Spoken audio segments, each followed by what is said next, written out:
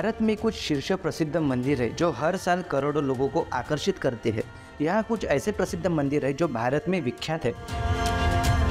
वैष्णो देवी मंदिर, जो जम्मू और कश्मीर में स्थित है। उसके बाद तिरुपति बालाजी मंदिर, जो आंध्र प्रदेश में स्थित है। स्वर्ण मंदिर, अमृतसर, पंजाब। काशी विश्वनाथ मंदिर, वाराणसी, उत्तर प्रदेश में स्थित है।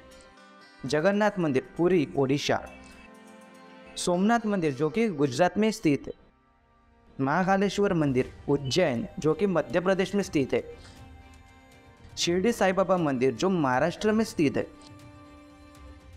मीनाक्षी मंदिर मदुरैत जो तमिलनाडु में स्थित है। कोकारन सूर्य मंदिर, जो ओडिशा में स्थित है।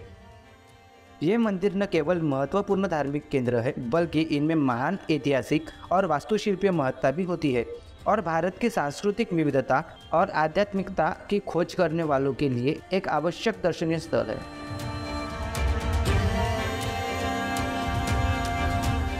आपको हमारा वीडियो पसंद आया होगा तो लाइक, शेयर, सब्सक्राइब ज़रूर कर दीजिए। धन्यवाद।